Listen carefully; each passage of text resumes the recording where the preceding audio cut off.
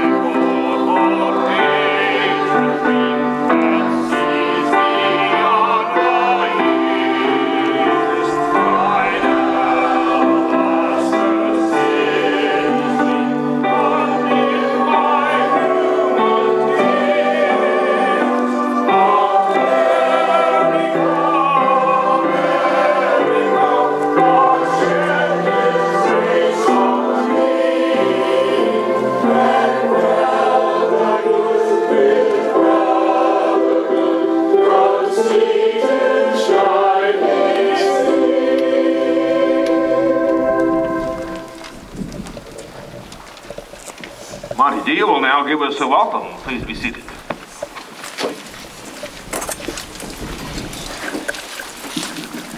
Good afternoon, and on behalf of the 230 employees at Omega Protein here in Reedville, I would like to welcome you to the 43rd Annual Blessing of the Fleet here at historic Pleasant Point. There you go. Yes, I agree. Many of you probably know that there's been a continuous menhaden reduction operation right here in this area since 1878.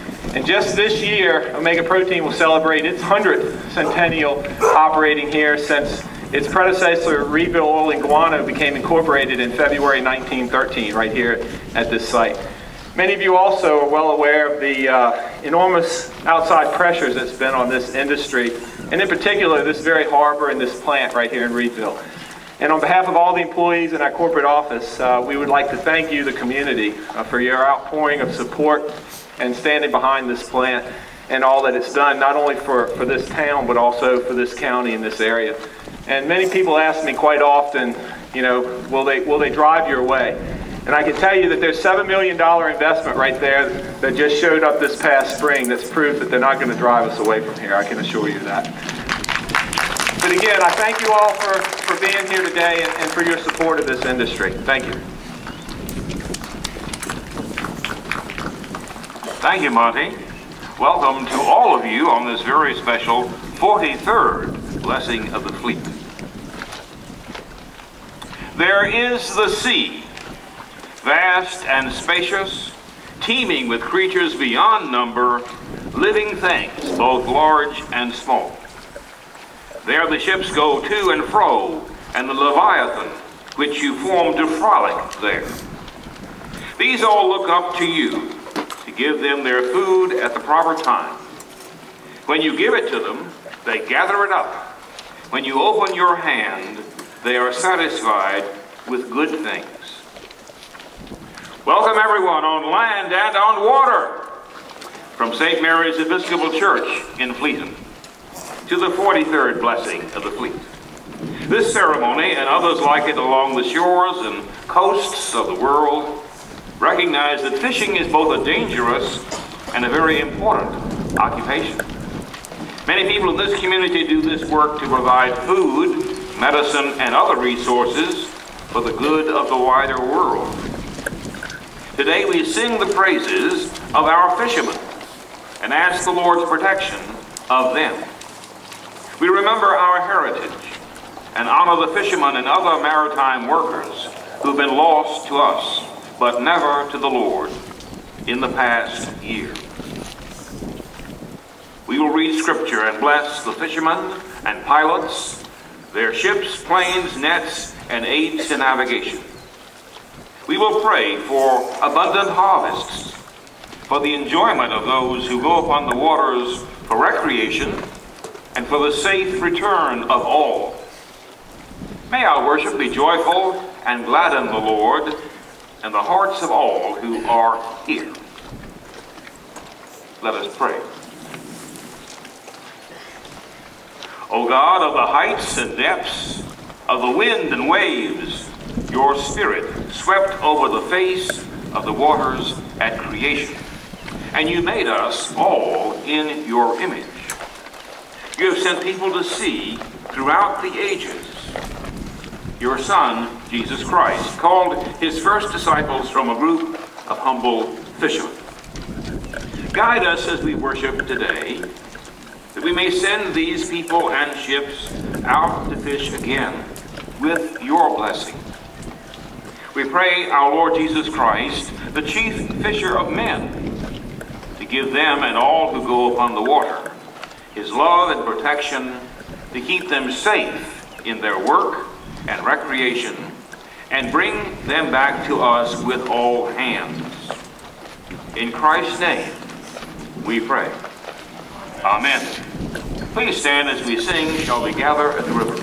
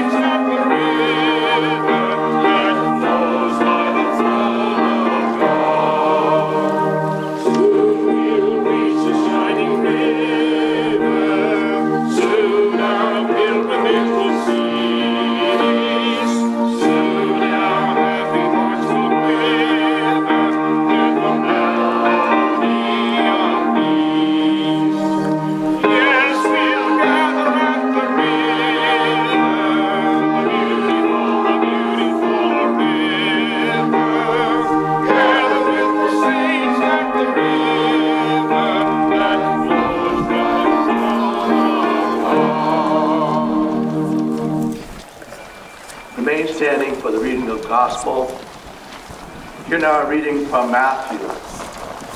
As Jesus walked by the Sea of Galilee, he saw two brothers, Simon, who is called Peter, and Andrew, his brother, casting a net into the sea, for they were fishermen. And he said to them, Follow me, and I will make you fishers of men. Immediately they left their nets and followed him. And going on from there, he saw two other brothers, James the son of Zebedee, and John his brother, the boat with Zebedee their father, mending their nets. And he called them. Immediately they left the boat and their father and followed him. This is the holy gospel of the Lord. Let us pray. Almighty God, our Heavenly Father, who made the sea and gave all that moves therein for our use. Bestow your blessing, we beseech you, on the harvest of the waters, that they may be abundant this season. May your hand of protection be with each one working on the sea, and may you grant your grace to them as they acknowledge you as Lord of their lives. Lord, help us to be thankful for all your many blessings, for you are the Lord of the sea, as well as the dry land. We pray this through Jesus Christ our Lord. Amen. うん。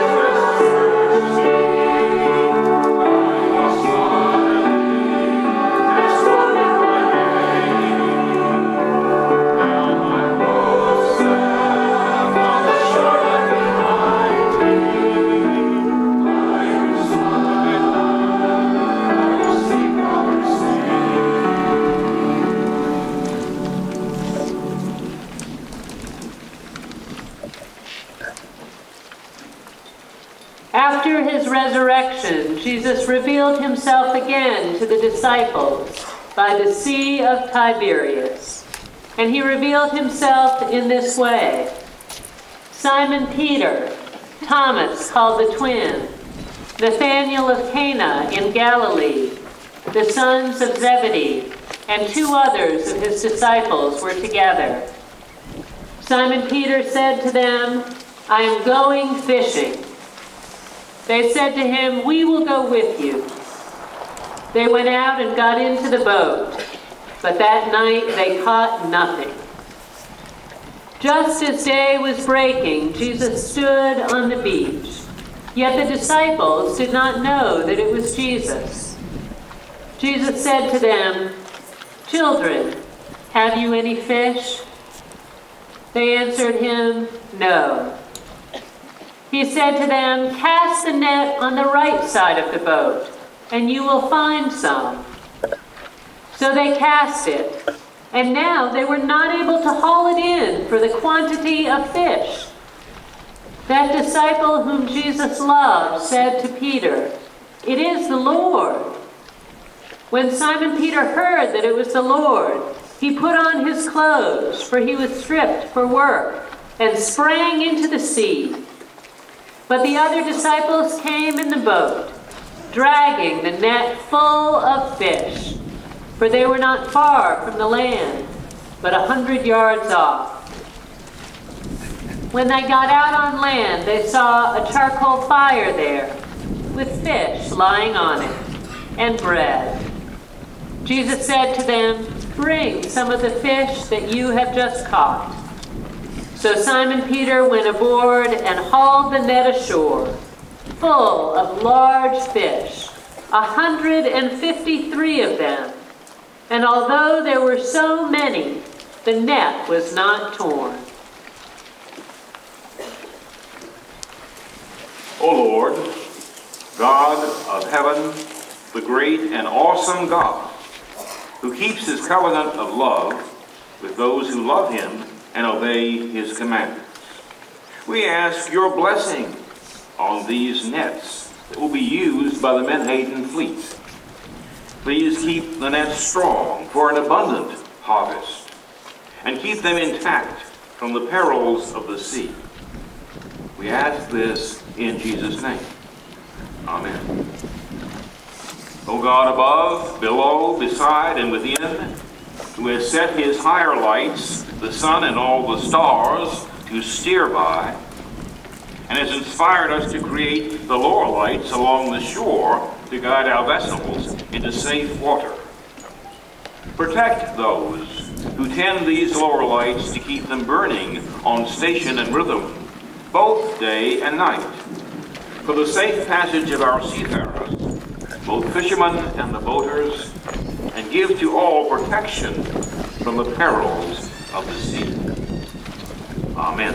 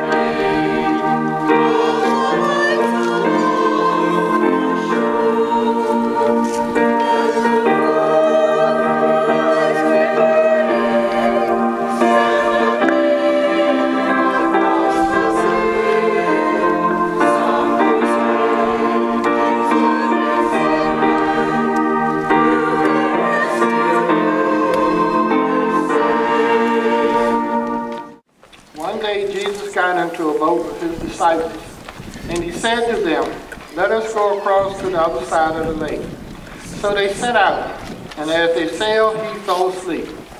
A storm of wind came down from, on the lake, and they were filling with water, and were in danger. And they went and woke him, saying, Master, Master, we are perishing. And he awoke and rebuked the wind and the raging waves, and they ceased and there was calm, and they were afraid. And they marveled, saying to one another, Who is this that he commands even the wind and the water, and they obey him? Lord, as we assemble here today, we give thanks for these ships and boats that will be used as instruments for gathering of food, for the physical and spiritual body. And as we give thanks for that, for they have already meant to the lives of men and women of this community. We ask your divine blessing upon them as they be launched to continue this valuable service. Today we believe in our hearts that we are provided your gifts of favor as we seek spirit upon us and build these moving vessels that they might find and perform in accordance with your divine will. This is our prayer in the name of Jesus, our Lord and Savior. Amen. Let us pray. Creator God, we have grateful hearts for those who risk their lives in the skies of the Northern Neck. Grant that their airplanes may be safely maintained, and that they may be guided by you in their navigation, and that they will return safely to this earth and to their families. In God's name we pray.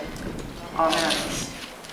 John Chichester was born in Fredericksburg, served as pro tem of the Virginia Senate for eight years. He represented the 28th District of the Senate from 1978 to 2007, and I want to say he did so with most honorably and with great distinction. Senator Dickerson became chair of the Senate Finance Committee, and in 1999 he became the chairman of the Senate Finance Committee. During his 29 years in the General Assembly, John served in a number of leadership roles within the Virginia Senate. He chaired the Commission on the Future of Higher Education in Virginia and chaired the Joint Subcommittee on Higher Education Funding Policies. John and his wife Karen, who is here today, have lived in Reedville for the past 11 years and have a daughter in Florida. I've had the privilege of knowing them many years as I was also in Fredericksburg during those years. So it's a personal privilege to ask you to join me in giving John a great welcome among us.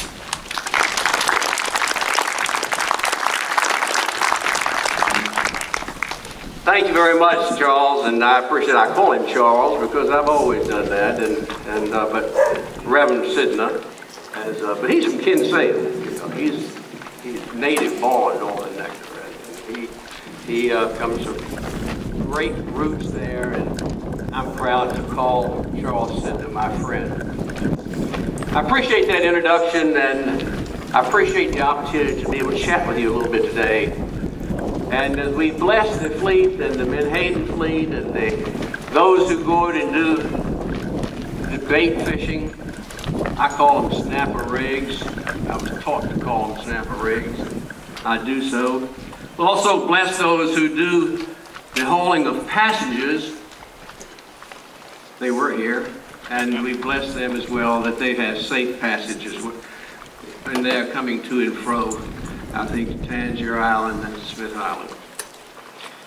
You know, I suppose this year, above all years, and you heard a little bit of it from Monty when he welcomed us a while ago, a little more blessing than normal could be used this year and bestowed upon this particular industry. Because I don't know of a time uh, since I have been coming to and from Reedville, which is since 1977, that it's needed more than it is before. Let me give you an example. After the legislative session would be over, and I was glad to get out of Richmond, and it's been a cold winter. Every winter I was there seemed to be a cold winter. And it got colder we'd go to try to go to Florida. And I, there was a thing down there in Lakeland, Florida called Sun and Fun. It's an airplane flying. I, I liked airplanes, so I'd go down there and enjoy myself. And, and what you'd end up do is landing out in some South 40. And you'd be transported back to where everything was happening in a van. So I was a part of that. And somebody behind me, and you know how it goes when you have eight or ten people in a confined area. Where are you from? Well, I'm from this and I'm from that. And I say, well, I'm from Reedville, Virginia. Somebody said, where's that? I said, well, it's down near the Chesapeake Bay on Cockrell's Creek. Oh, I know where that is, some voice back there said. Reedville, that's where they steal all the fish out of the bay, that plant down there. Well, I feel like I ought to say anything then. But I'm afraid I've got a little too much redneck in me to let it pass. So waiting till we exited the van and I asked him how often did he feel that he was compelled to display his ignorance about that issue. And he had no clue what I was talking about. I said, they don't steal anything. They're carefully regulated. And they are not all of the fish in the. It's just one species. And before you get to the bycatch, that's all they catch, is the menhaden.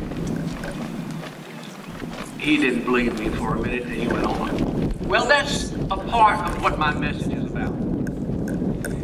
Because it's been going on for over a decade, the pressure on this plant if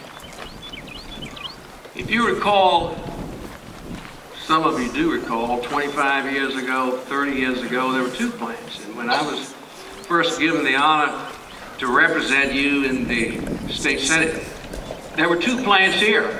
One right over here, this American Standard. and then there was, and then there was Zapata Haynie at the time, now Omega. And so the two had probably 20 votes between them. There's a fishery in North Carolina at Beaufort. There was one in New Jersey. And they plowed the oceans and the bays from Maine to Florida. Not many off the coast of Florida, but they plowed during their season. And they fished, they used spotter planes, and they fished probably those 20, maybe more than that, boats. And then they started to be booted out, I use for lack of another term, these states. First the Northeast and then down to Delaware. And now, today, the Beaufort, North Carolina plant is closed. The family did not wish to continue that. And the only reduction plant on the East Coast is behind me, right here. It's the only one. There are half a dozen or so snapper rigs, bait fishermen here. There's some out of New Jersey, only a few. And they can fish up there in New Jersey, but off the Virginia waters is limited. So you wonder where the logic is. There are super PACs where people spend thousands of dollars to send dollars to send out propaganda. If you're not aware of that, you're not registered to vote. Because your mailbox three weeks before election is filled with it. Now, super PAC is different from a regular political PAC. I'm going to tell you the difference because it's important. A super PAC cannot advocate for anything. Charles Sydnor was running for office and they loved him.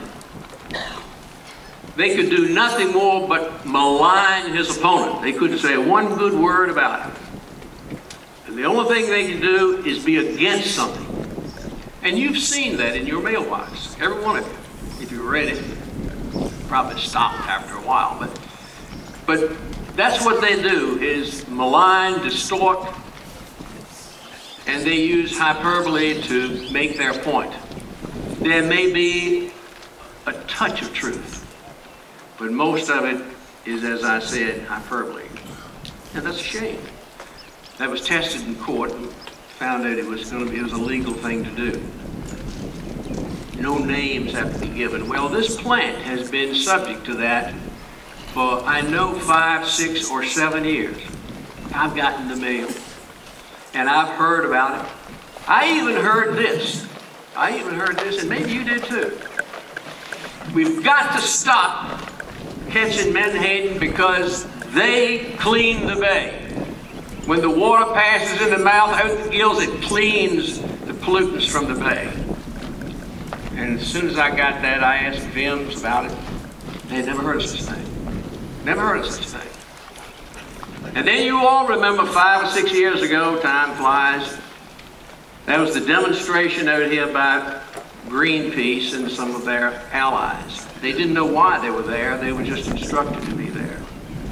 I suppose it, it was the Maryland propaganda from the guy that was in the van with me. They were stealing all the fish out of the bay. Well, ladies and gentlemen, it's a serious thing, and Omega takes it seriously. Believe me, they do. And let me tell you what they did. There was so much external pressure without foundation, without any foundation at all, no scientific proof. They said, okay, we will agree to a reduction. And instead of the 10 boats, I think last year they had nine. But that wasn't good enough. The organizations kept the pressure going on and on. And of course, I think, and it's my opinion, that a rather gullible and naive ASMFC swallowed it hook, line, and sinker. And now this plan is reduced to seven boats. Now, if any of you are beguiled into thinking that that's the end of it, it's not. They also did a pretty good job of dividing and conquer one of the oldest military tactics in the world. They divided the bait fishermen from the reduction fishermen. And they made allocations and pitted one against the other. An old tactic. And that's a shame. But I will tell you that from now on, the, the reduction industry and the bait industry must come back together.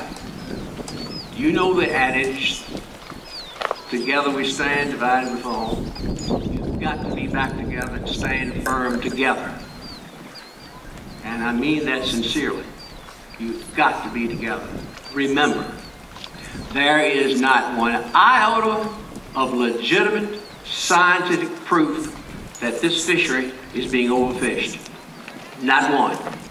Not one. And so they're now trying to find a legitimate way of telling ASMFC that, that it is. But they can't do it. It defies logic. You've got seven boats now and the entire Atlantic coast, at least off the three mile limit. And you've got the bay. There's no way, there's no way you're going to outfish the procreation of menhaden. So, ladies and gentlemen, it's a serious day. And when you heard the distinguished members of the clergy talk about blessing the nets, the menhaden catch, yes, it's going to require that blessing. But it also is going to require, and I ask you to remember, that those who would criticize from afar, it's all external. 99% of it is external. Who don't care about this plan, don't care about the, the 250 jobs. They don't care. Just so they can come to the bay and catch a fish and not have to look in the mirror and blame the one looking back. It's an era of instant gratification, and that's a shame. So, ladies and gentlemen, it's a pleasure to be with you today, but it's a very serious matter, and one I hope you'll take to heart. Thank you very much for having me.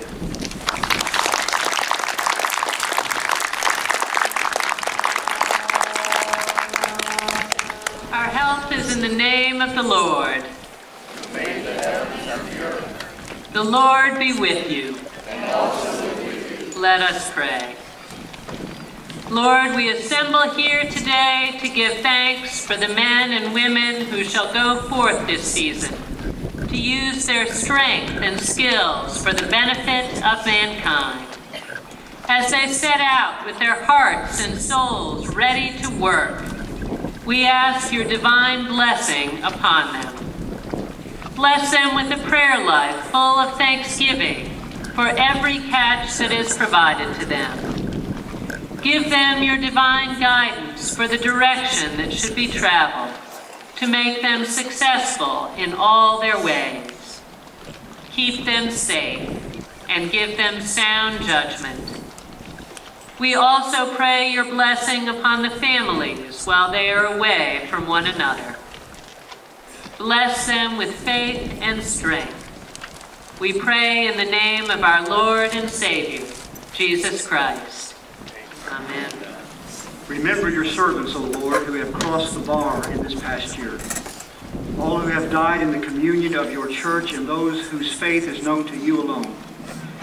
Gather them in the net of your compassion according to the favor which you bear unto your people, and grant that increasing in knowledge and love of you, they may go from strength to strength in a life of perfect service in your heavenly kingdom, through Jesus Christ our Lord. O God, whose days are without end and whose mercies cannot be numbered, make us, we beseech you, deeply sensible of the shortness and the uncertainty of life.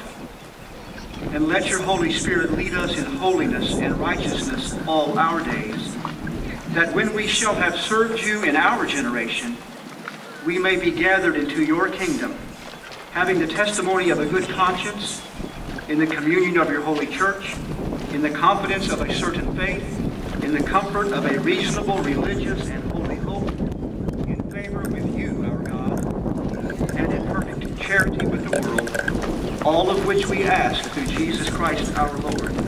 Amen. We now invite the representatives of American Legion Post 117 to accompany the harbor master cast the memorial wreath in memory of those lost at sea.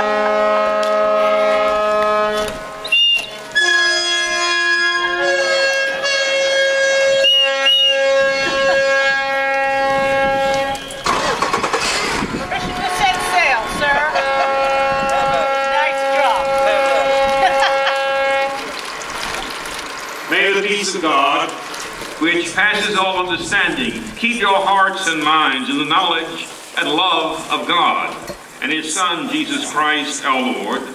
And the blessing of God Almighty, the Father, the Son, and the Holy Spirit sustain you on land, on the waters, and in the air, and be with you now and forever. Amen.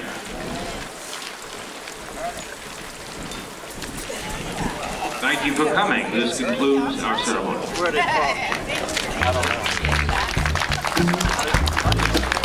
Good